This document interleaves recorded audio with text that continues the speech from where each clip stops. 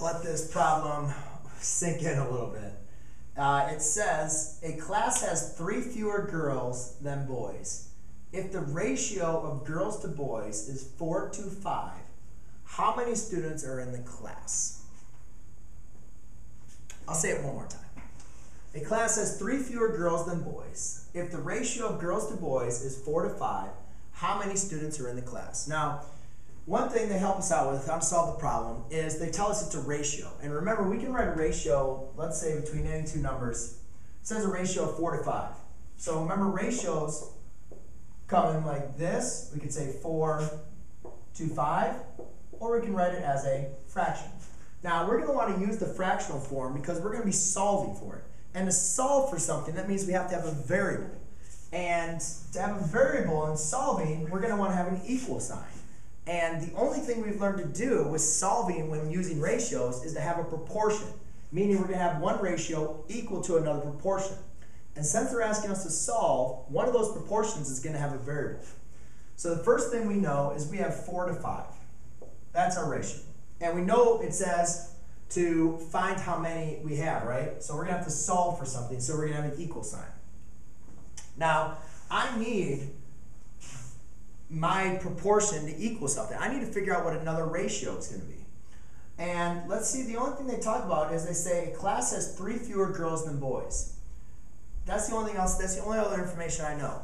Now, if I think about this, three fewer girls than boys. So that means if there's 10 boys, three fewer would mean seven girls. If there's 20 boys, three fewer be 20 boys, three fewer be 17 girls. So it's all going to depend on what are how many boys are in our class.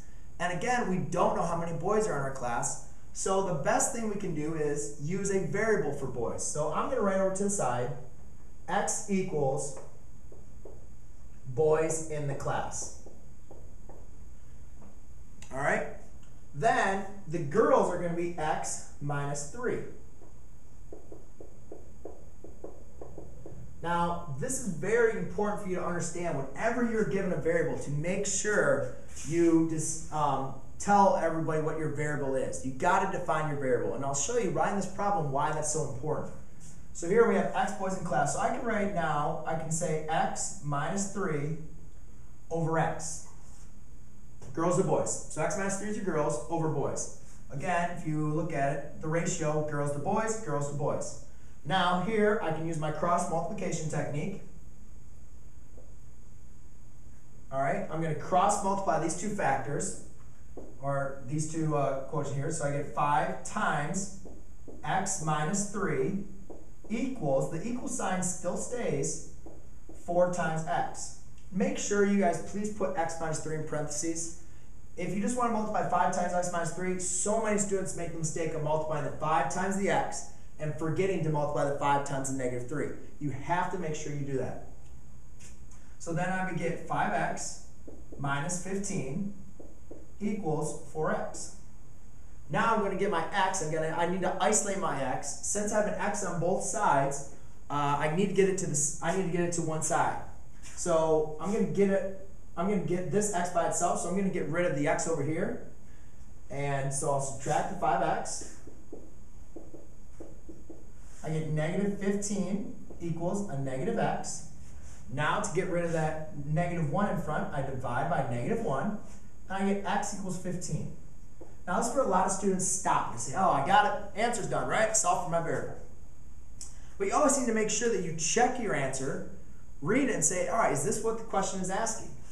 Well, 15 is equal to x. What does x equal? The boys in the class. Do we care about the boys in class? Well, yes. Is that what our answer is, though? No. Our question is asking us how many students are in the class. So you can say there's going to be 15 boys, and 15 minus 3 is going to be 12 girls. Add them together, you get 27 students in the class. All right, so that's how you solve a word problem using proportions.